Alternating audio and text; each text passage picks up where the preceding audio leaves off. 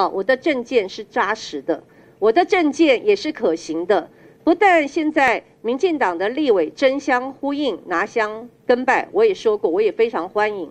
哦，那么现在甚至呢，那么呃，整个行政院也开始动起来。我觉得事实胜于雄辩。那至于吴一农先生有关于政见的口水，我已经不想再回应了。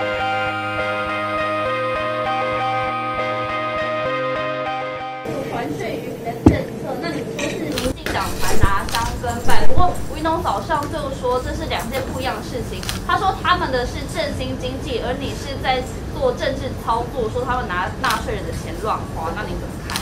呃，其实吴一农先生对我有关政见的指教，我已经呃不想回应了哈。